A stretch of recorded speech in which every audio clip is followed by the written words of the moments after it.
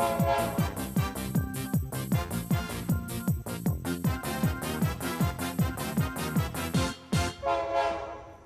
right. Um, my time has started, so I guess we'll slowly work our way into the talk. Uh, did everyone enjoy lunch? Anyone go out, grab some barbecue? I think we had barbecue here. Anyone go external? No? Did anyone grab a coffee? Like this? Coffee? You guys are not giving me anything. Anyone grab a coffee? No? This guy grabbed a coffee. Nice. Um, so many lifetimes ago, I worked as a barista at a popular coffee shop. And it was a mid sized neighborhood store. There was a mix of traffic coming from the surrounding homes and business. And we were actually right across the street from one of the big game development studios. And business would just like skyrocket anytime a new uh, Call of Duty game was supposed to launch. Um, and it was just a nice mix of customers, and most of them were great. But there was one. I mean, there's, there's always one. And uh, her name was Susie. And this name has been changed to protect her, even though she's totally guilty. Susie would come in three to four times a week, and she always had the exact same order a double espresso, please.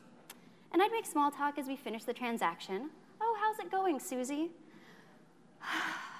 oh, you know, not so well.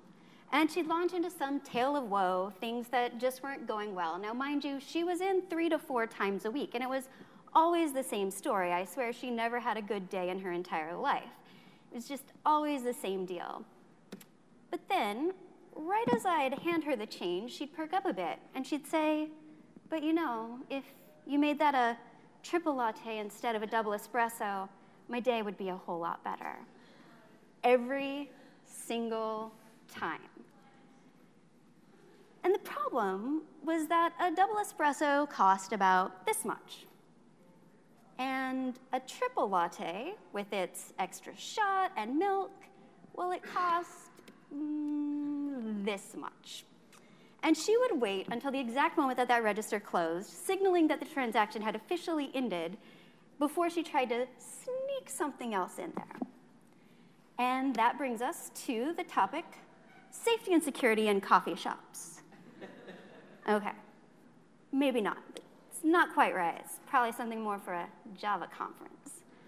Giving an active record talk, have to do a pun in honor of Tenderlove.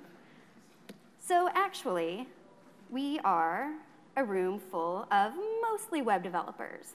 And I'll just say, I looked all over the internet to find the least creepy spider I could find, because I was not going to be like surrounded on all sides by creepiness. So that's like a very friendly spider. And so, like this very friendly spider, we're very friendly web developers. And um, maybe we want to talk about security in web apps instead. And at the risk of stretching that coffee shop metaphor just a bit too far, I'd like to argue that our web apps have a, vulnerabil- a vulnerability that's actually very similar to the one that Susie was exploiting, and that's SQL injection. Now, I'll go into more detail in a bit, but in brief, SQL injection is when someone closes out a legitimate transaction with your database and then immediately tries to sneak a little bit more SQL in there so that they can interact with your database and walk off with something a whole lot more valuable than coffee. And I know what some of you are thinking. We are web developers. There is nothing more valuable than coffee. But in this case, there, there is. I'd argue that your customer's private data is actually slightly more valuable than coffee. So when we talk about security vulnerabilities, I think it's more common to think that we're talking about something new, a vulnerability that was maybe just discovered in the past few weeks, something that's like going to be on the nightly news, something like the Heartbleed, where it's announced publicly the very same day that a patch is released because it's just that bad.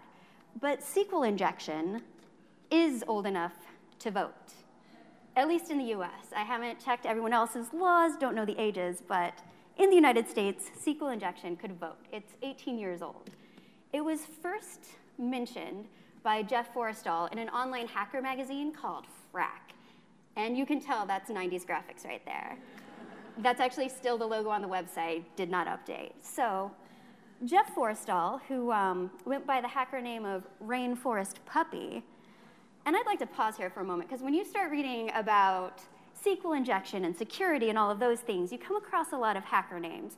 And I realized I, I haven't got a hacker name. And I did what any web developer would do. I went to Google and I Googled hacker name generators.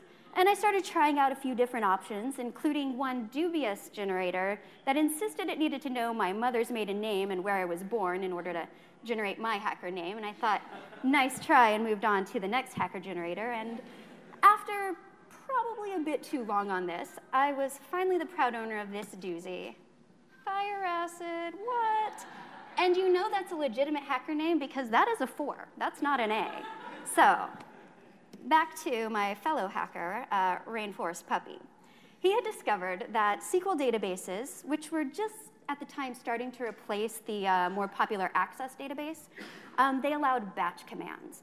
And so what that meant was that you opened up one interaction with the database and you could do one command. But with batch commands, you open up that connection to the database a single time and you can just send uh, more and more and more requests in there. And that's not a big deal because multitasking is a good thing, right? I mean, let's say I want to take a look at all of my employees. This is a fine looking group of employees. But say that I want to select just the ones that are developers.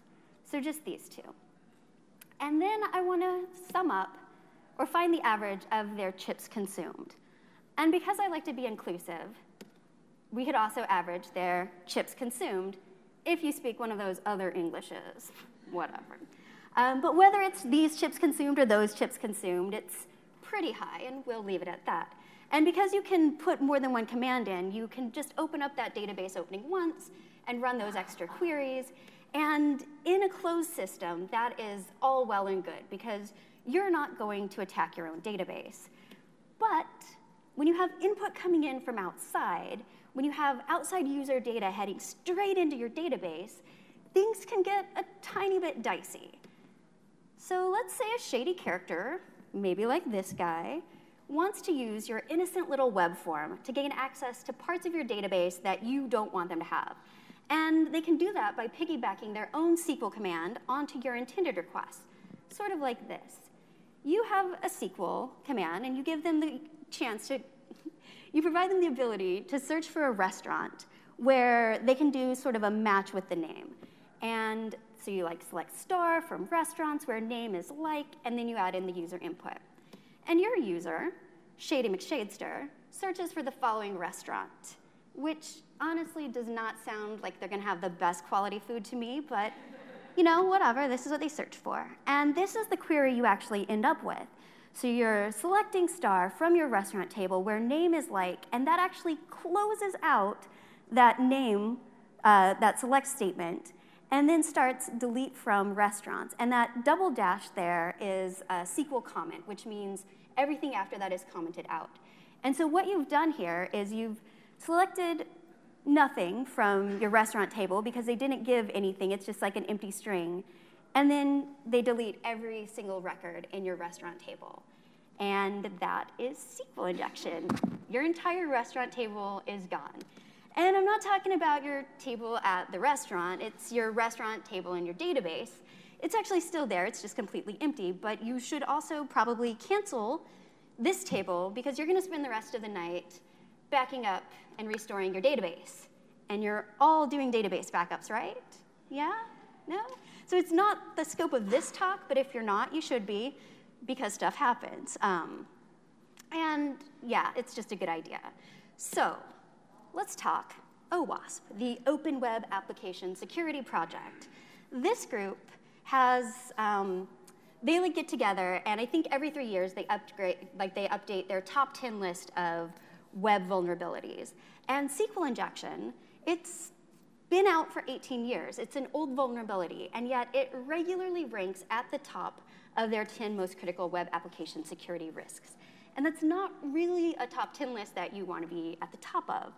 And honestly, if you look at like a recent scan of the news, you will find so many examples of companies, big and small, that have, you know, kind of seen SQL injection from, from the bad side. For instance, Sony Pictures. In 2011, Sony Pictures lost the data of over 1 million users. Including their passwords, which were reportedly stored in plain text. So that, that really hurts. And you know, you might think, oh, well, whatever, it's like Sony Pictures, big deal, but most people use the same password, and now you've got the password that the people use in their bank and all this stuff, and they can just go from site to site, build a profile on these people, and just like steal even more information because you did something that you should not have and stored passwords in plain text. In December, or sorry, October of 2012, hackers used SQL injection to get the personal records of thousands of students from over 53 universities around the world, including major universities like Harvard, Stanford, Princeton. And the reason they like students, like universities are actually a pretty big attack vector, which I didn't realize they were such a target, and that's because students tend to have a like wonderful combination of really clean credit records and they don't pay attention to their credit score. So you just have like quite a few years of being able to like totally trash their credit histories before their student loans do it for them. And that's, I guess, the one thing that we can say is good about crushing student debt is that by the time you graduate, no one wants to steal your identity anymore. All right, we're not done yet. In August of 2014, Russian hackers stole 1.2 billion, that's with a B, username and password combinations, and 500,000 email addresses from 400,000 websites. And these weren't all just like little mom and pop sites. Most of these were Fortune 500 sites. They're not sites made by your cousins, best friends, uncles, kid down the street who sort of knows how to develop a website. These were made by like professional developers, like the people sitting in this room. And it wasn't pulled off by some like elite gang of movie hackers. It was a group of less than a dozen men living in a small town in Russia that actually got their start uh, doing email spam. And one new guy moved into town and was like, I can show you how to do SQL injection. And they became like the kings of SQL injection. And then I've got one more for you. This is actually mentioned in an earlier talk, and it's VTech, which is an electronic toy company. And they lost the data of over 5 million parents. So, like, email addresses, phone numbers, home addresses, because people had registered their products. They also lost the data of 200,000 children. Now, this was just first names and email addresses. So it doesn't seem as severe until you realize that the data dump included the ability to link the parents with the kids. So now you basically had, for 200,000 children, their first names, their last names, their parents' names, their home addresses. I mean, that's pretty major. Like that goes beyond just like, oh, they're gonna have to change a password. Like that actually puts children at risk. But wait, there's more. In the last five years, the New York Times has suffered a SQL injection attack. Target has suffered from a SQL injection attack. Sony, yet again, suffered from SQL injection. The US Army, and believe it or not, the US Department of Homeland Security all vulnerable to this 18 year old SQL injection. So, what's the deal? Is there like this elite hacker Harvard out there that's training up just like code ninjas and teaching them how to sneak unwanted SQL commands into databases like there's no tomorrow? No. No. SQL injection is common for two reasons. The first reason is that it's really easy to automate there are scripts that you can go out online and you can buy, and they just bounce around the internet looking for common patterns in websites, looking for things that seem like they might be vulnerable, and they'll like pop up a little GUI display and say, oh, hey, do you want me to start attacking this website? It seems vulnerable. Like, you don't have to do anything. In fact, there's this guy, Troy Hunt, who's a web security expert, and he runs a website called haveibeenpwned.com. And I think that's the best logo ever for a website that focuses on SQL injection. And he um, actually posted a video where he was teaching his three year old child to do SQL injection attacks using the most popular program. And this wasn't to show how brilliant his three year old was. The point he was making is that SQL injection is just ridiculously easy. These people do not even have to know how to use the command line, it's a GUI interface. The other reason that they do it is that it keeps working. So they use it because even though we've known about it for 18 years, and even though there are very easy ways to avoid having this happen to your website, hackers year after year get gigs and gigs and gigs worth of valuable user data. So how do we put an end to this? Uh, it's kind of harder to make it, like, you can't make it impossible for people to automate. Like they can crawl the web, they can do what they want. So you can't make it harder to automate. You could possibly give your table names like really weird names that are hard to guess. Most likely, though, that's just going to drive your dev team crazy and make development harder, and you're still going to suffer from injection attacks. So that's probably not the idea. And the easier route is just, you know, make sure it doesn't work. Awesome, talk over. Okay, you guys want to know how to make sure it doesn't work. Okay, all right. So my name is Jessica, and I work at a place called the Flatiron School. And the platform that I work on is a platform called Learn. And we um, use this platform to teach people how to code. And so we've got tons of students, tons of like brand new junior developers constantly on our platform learning things. And one of the things that we have as part of our teaching philosophy is that we like to have people step through and actually build, build basic versions of the tools they'll be using later. So it helps ensure that they kind of know what's going on when they get to like the bigger magical platforms. And so we make them work with SQL and kind of build their own lightweight ORMs. And after suffering through that for a while, we introduce them to Active Record. And everything is like magic. Instead of having to do select star from restaurants where type equals barbecue, which is simple enough, but like still kind of like not super intuitive, you can use, hey, I want the restaurant where the type is barbecue. And just, you know, Active Record does it for you. And it really seems like all this magic make sure that the only thing that you have to worry about is whether or not the rule is that your model name is supposed to be plural or singular, and wait, is it restaurant.where or restaurants.where, and that gets me every time. But it's like, if that's the worst thing you had to worry about, thanks to Active Record, like, game over, SQL injection is gone. But it's actually a bit more complicated than that. So we're at Rails conference, and you guys came to a talk called Will It Inject? A look at SQL injection in Active Record. And congratulations, because we finally made it to the title screen. Woo! Yeah, um, only 70 slides in. And given this title, um, I think it's safe to assume that what you'd like to hear about is SQL injection and Active Record. And I kind of think that having someone just like yak at you about SQL injection and security, especially right after lunch when you're feeling a bit sleepy and I'm talking to you, Dad, um, it can be kind of boring. And so instead, we're going to play a little game that I like to call Will It Inject? All right, so the rules are simple. I will show you an active record query. You guys are going to tell me whether or not you think it's vulnerable to injection, and you can just sort of shout it out. And you guys watching this later from home, you should feel free to play too, shout at your computer screen. I'm not going to judge. I'm not even going to be there. So here is our first one. And this guy, Find, he's sort of the heavyweight of Active Record. And if any of you use Active Record, if you've built even a tiny little app, you've probably used this quite a bit. So let's say you wanted to find the barbecue joint that has the record of one, so the record ID in the table of one. Do you guys think that if you like left that open to user input, that that's going to be vulnerable? Do you think will it inject? Anyone? Who thinks it's going to inject? Just raise your hand. No? You guys think it's safe? Oh, all right. What's that? Let's let's use Edge Active Record. No. How about whichever one didn't just come out? Because that's probably the one I'm using. um, it won't inject. It is safe. So that one actually only works for an integer. It matches, it's like looking for an integer value.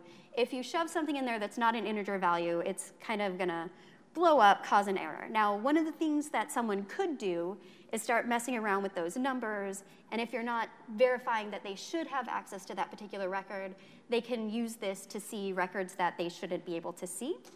But that is outside of the scope of this talk, so you'll have to find someone else that can tell you how to avoid that. All right, find by. It's similar to find, but you pass in both the attribute you're searching for as well as the value that you want that attribute to have. And as you can see here, it will even let you look for more than one attribute at a time. So for instance, say your user is looking for barbecue that has the type of burnt ends and a dad's rating of five. And if you know my dad, you know that this could only possibly mean one place. It's Arthur Bryant's.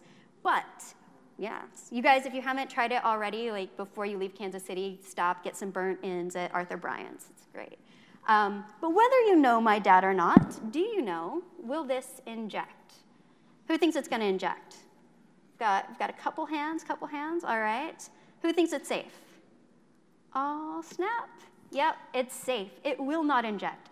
When you pass the attributes in as a hash, Active Record actually escapes any of the special characters and treats the entire thing like a string. So you can have your Shady McShadester users pass in all the raw SQL that they want, and it will not inject.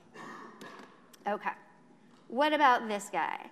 If you wanted to write a query, query that searched for records based on a SQL fragment, so in this case, and I mean, honestly, you wouldn't need to use this particular SQL fragment because you could obviously just do barbecue.find, you know, name, and then the input. But say you had a complicated query and you had to drop down to raw SQL. So barbecue.where, and then name equals, and the user input.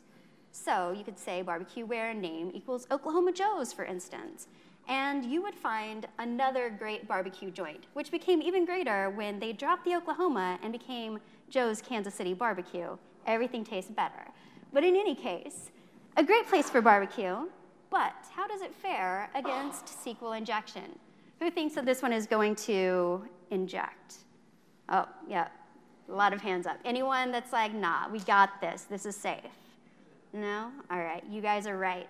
That one does not fare so well because, similar to that earlier conversation when we were just looking at SQL, your, shade, your, your shady user could say that they want to find a restaurant called single quote, semicolon, delete from barbecue dash dash, which again, doesn't sound like a tasty restaurant, but the end result is that your entire barbecue table is lost. And that's really sad. So how do we protect ourselves against this? Oh, look at this. Anytime you're using raw SQL, when you get to the point in the query where you are going to put the user supplied data, you can replace it with a question mark, and then you just like comma, and then put the input that you're gonna put in after that. And then Active Record kicks off this thing that we like to call, you know, baby proofing the query. And the first thing it does is that it sanitizes the user input. And that means that it escapes all the special characters so that the entire thing will be treated just like a string. It can't be executable. And all that magic happens if you're inter interested in reading any source code in uh, sanitization.rb with a little help from quoting.rb. Um, me, I just like that it works. And no matter what nefarious thing people pass into my app, like if I've done it this way, it's sanitized and it's nothing more than a string and it can't do anything. And the other way that Active Record is uh, protecting you there when you're using the parameterized queries, and that's what they call it when it's a question mark, that's parameterized queries. It's that the SQL statement actually gets sent to the database with the placeholders, and the database then parses the statement and it comes up with a query plan and it caches that query plan and sends the statement and a token back to your app. And when the actual values finally do come through, if the statement that is trying to be executed differs from that query plan, so if somehow raw SQL did get in there and someone was trying to change the query that was being, um, had initially been asked for, it can tell that it doesn't match with that token that was sent through, like that initial plan, and it's like, no, we're, we're not doing that. Uh, you cannot change the type of query that was already planned once you use the parameterized um, queries. So uh, one thing you should know, not every database type supports this. Uh, the Active Record Database Adapter actually determines how it'll handle things when you use parameterized queries. So just if you are relying on this, make sure that you know how it works for the particular database you're using. But most of the major uh, SQL ones, like Postgres and stuff, they do allow that. All right. Moving right along back to the game, we're going to step it up a notch. Will this filter by statement inject? Who thinks it'll inject? Yeah? Who thinks, who thinks it won't? Who here recognize that this is Python using SQL Alchemy? I'm just trying to make sure you guys are awake. No, that's it's not even active record. Who even knows what all that stuff is? Very confusing. But in case you're wondering, it kind of does the same thing as a find by, and it turns everything into a string. So even that weird statement will not inject. Okay. What if you wanted to search for all the barbecue joints that are not expensive, but to make it easier to determine which ones are delicious, you also want to group by dad's rating.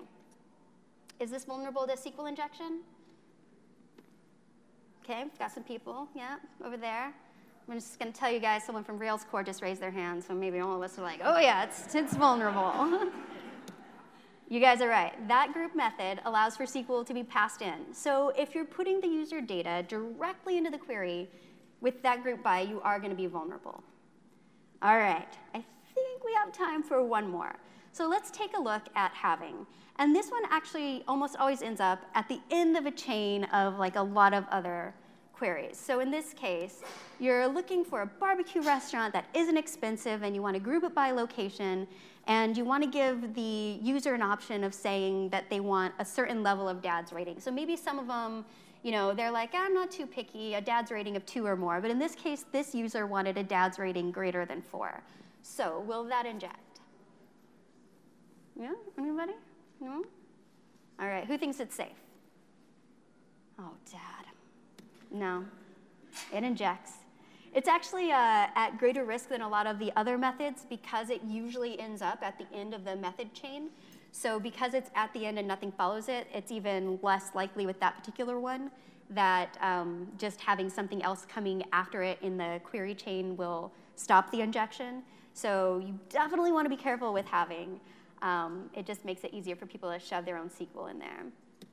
Um, and the thing is, is that once again, this is easily fixed with the parameterized queries. You just pop that question mark in, put the statement, and active record takes care of it. And you might be looking at this and say, that's very similar to how you fixed the other one that had injection. And that's one of the great things about active record, is that it does have like a lot of patterns that are the same. So if you figure out a way to avoid injection in some methods, chances are you're going to be avoiding them in all the rest of them. Uh, so it's just easy peasy. Now, some of you might be thinking, look, if people are aware of these vulnerabilities and it's been 18 years and SQL injection seems pretty major, why haven't they fixed this yet? Maybe I'm going to go back to my hotel room tonight and I'm going to work really hard on a patch and I'm just going to get this pull request in and then there's going to be no more SQL injection in Ruby in Rails. It's not quite that simple. So the problem is, it's another example of that age-old tension between freedom and security. Those vulnerabilities are there because they allow us flexibility. That coffee shop I worked at, they could easily have had a rule that said you are never allowed to give anyone anything for free ever. And if that had been the rule, we all would have followed it. Customers would have stopped asking Susie's shtick of, oh, but my day would be better if you gave me a lot of free stuff, wouldn't have worked. But there would have been a lot of magic moments that we would have lost. There were a lot of like beautiful individual customer interactions where you're just like, oh, hey, the coffee's on us today. Would you like an extra shot? That just wouldn't have been possible. And it's the same thing with active record.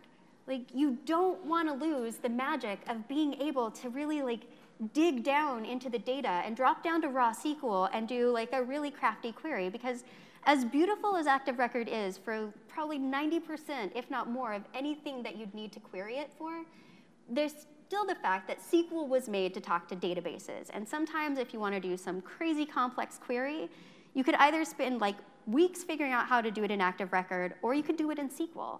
And that's going to be the only straightforward way of getting it. And if Active Record didn't allow this flexibility, it would start to be less and less useful as our apps got more and more and more complex. And we'd probably spend a lot of time starting to write our own methods to talk to databases, and we'd write them from scratch. And if the history of programming is any indication, when we start writing our own things from scratch and it's not the core of what we're trying to do, chances are we're going to actually end up being more at risk than we would have if we had just figured out you know, like the active record stuff. And then our apps would be in the news, but for all the wrong reasons. And we should apparently leave that to Sony, because that's Sony's thing. They're the ones that are in the news for SQL injection. Don't be Sony. And look, I get it. I know that it's a bit tougher than ye good old days, where security was literally like a heavy wooden door with a big guy and a metal slit. And you didn't have to worry about automated scripts being run by precocious little three-year-olds that were looking for the slightest vulnerabilities in your code. And it was just a face-to-face -face interaction. And you probably got one chance to get it right. So you couldn't even sit there spamming a password like Is it one, two, three, four, five, six? No? Is it password? Like, you had one chance. And, like, you either got it or you got chased away by the big guy. But the reality is that things aren't actually all that much more difficult now. With the built-in security and active record, and just a tiny bit more knowledge of what's going on behind the scenes with those helper methods, we can all write code that keeps our customers' data and our app's reputation safe and secure. So um, I want to give a quick shout out to my colleague, Eric Rafaloff. His Thursday code reading at work was actually the inspiration for this talk. He has since left us to go work in web security, so we're all safer for that, though we do miss him at work. And I uh, want to thank my husband Josh for hand drawing anything I asked him for and double checking my SQL. Coder animators are the best. Um, if you guys would like to learn more, um, an amazing resource is this. Uh, just there are places that you can like test it, see how it works. He goes through all of them in detail. Like it's a beautiful resource. There's also guides.rubyonrails.org, security.html. That's like actually the security guide from Ruby on Rails, and it has a lot of good information you should check out. It covers a lot more than just SQL injection. There's the OWASP Ruby on Rails cheat sheet, and you can also, this is crazy, just look at your own code. Go to your own web forms, try to inject some SQL in there, see if it works. Don't do it in production, do it in local. Uh, but if it'll work in local, it'll work in production, and you should probably shore that up. So um, as I mentioned, I'm Jessica Rudder. I make codes about, or I make videos rather, about coding at youtube.com slash compchomp. And if you like code and videos, I'd love to have you check them out and let me know what you think. I would also love to continue this conversation on Twitter. And if any of you are like, new to programming and you want to talk about learning to code or sort of learning Rails, um, I've borrowed the company credit card and we're going to be doing a dinner tonight for beginners. Um, so if you're just starting out and you want to like join us for that, just hit me up after the talk and I'll give you the, uh, the details. So that's the talk. Are there any questions? And they, if they're mean questions, I'm just going to mad dog you. So pre-warning, pre-warning. Oh, no questions. Good. I answered everything.